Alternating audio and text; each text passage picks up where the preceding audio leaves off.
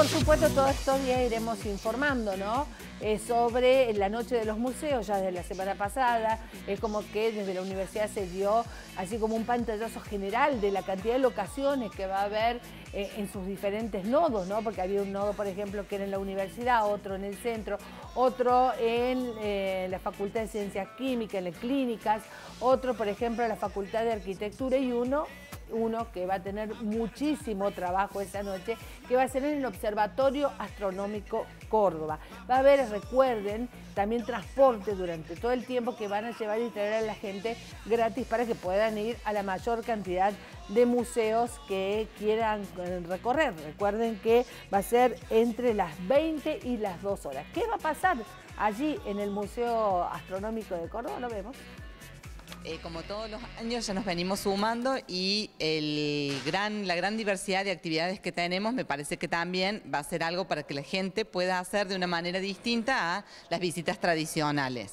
Hay más o menos del orden de 15 actividades, las hemos separado en, parecen muchas, pero están como... digo, en una sola noche 15 actividades, wow.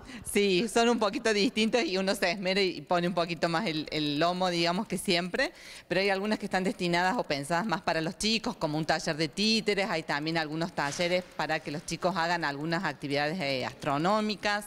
Eh, después también tenemos un taller que es de electromagnetismo, entonces les van a enseñar cómo hacer un electroimán con algunos materiales caseros. Em, después también tenemos lo que se, llama la parte de visitas. Hay unas que son visitas guiadas por dentro de la institución y otras por el predio, resaltando algunos, por ejemplo, las rejas tradicionales del observatorio, las caballerizas. Está también una réplica de uno de los telescopios del Perrín que se hizo en el observatorio. Eh, tenemos después también los coros, el coro del CIPOLI, que es el que va a abrir a las 8 de la noche, el coro de la Facultad de Matemática, Astronomía, Física y Computación, que también va a tener una intervención a las 10 de la noche, eh, que me estoy olvidando. ¿Y el cierre a las 2 de la mañana? El cierre a las 2 de la mañana también y después va a haber algunas actividades eh, de muestras, por ejemplo, la biblioteca esta vuelta va a ser una muestra de atlas eh, de astronomía, que también muchos de ellos se han usado. Ahora, te, pregunto, ¿hay que inscribirse o directamente hay que ir? No, directamente hay que ir, sí. Eh, y, y, estar hasta las 2 de la mañana haciendo todo lo que hay para hacer. Sí, y esperando que el tiempo también nos acompañe porque hay muchas actividades al aire libre. Cada vez mejor la noche de los museos. La cita es el 18 de octubre.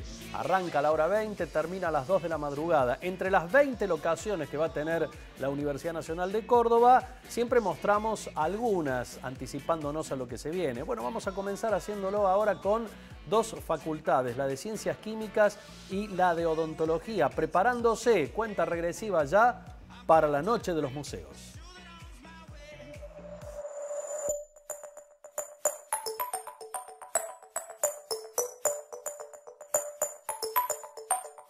La Facultad de Odontología, desde hace pocos años, en el 2014, incorporó el Museo de la Facultad, que tiene una misión no solamente disciplinar, en la cual se preservan, se exhiben todos los objetos y elementos que hicieron a la historia de la profesión de la ciencia odontológica desde que la facultad se inició como una escuela hasta la actualidad, sino que además lleva adelante una actividad social y cultural comprometida con la comunidad.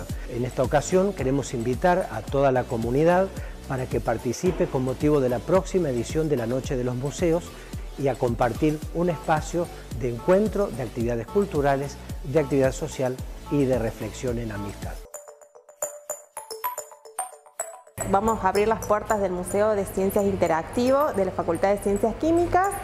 Este año particularmente lo vamos a dedicar a los 150 años de la tabla periódica, en donde se propusieron nombres de científicas de todas las áreas para conformar una tabla periódica de científicas eh, que tiene que ver un poco con la trayectoria de cada una de esas personas a lo largo de, de, su carrera. Actividades lúdicas para todas las edades, vamos a tener experimentos. Los invitamos a que vengan a participar en la noche de los museos, así vienen a jugar, vienen a divertirse y se llevan una propuesta y un poco de conocimiento de la química de casa.